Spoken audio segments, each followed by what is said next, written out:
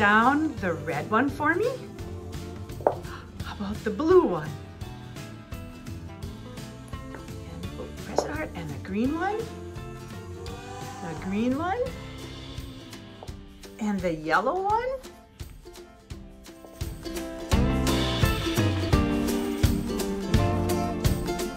Can you push down all the large circles, the large ones?